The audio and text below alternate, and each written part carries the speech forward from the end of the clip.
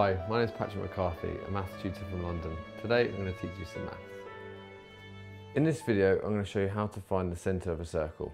Okay, so there's two ways of finding the centre of the circle. The first way is by drawing it. The second way is by using the equation. So firstly I'll start with how to draw it. So here we have a, a circle and basically there's the easiest, easiest way is you put one end of a ruler on the circle and then you swing the ruler around like this. You keep this point here at zero and you find the longest length on the circle. So you hear, see here, I'm, I'm at 10 inches here.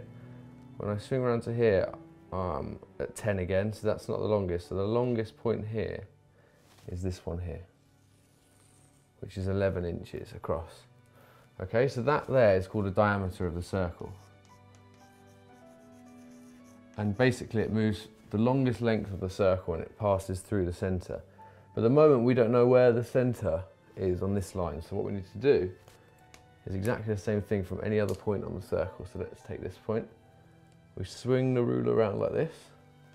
Find the longest point. Again, it's there. Draw the line. Now where these two cross, that's another diameter of the circle. And where these two points cross there, that's the centre of a circle. Now that's one way using the graph, uh, sorry, graphically showing it.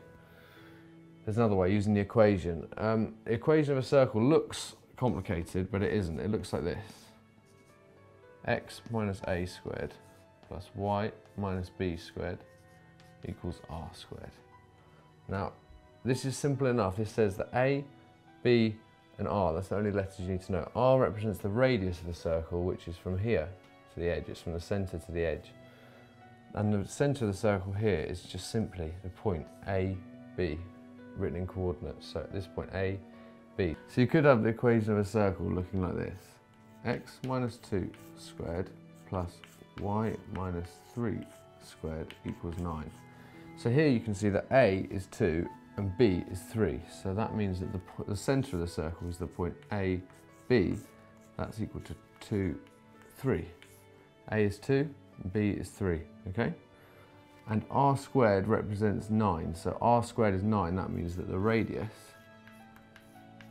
is 3. And that's how to find the centre of a circle.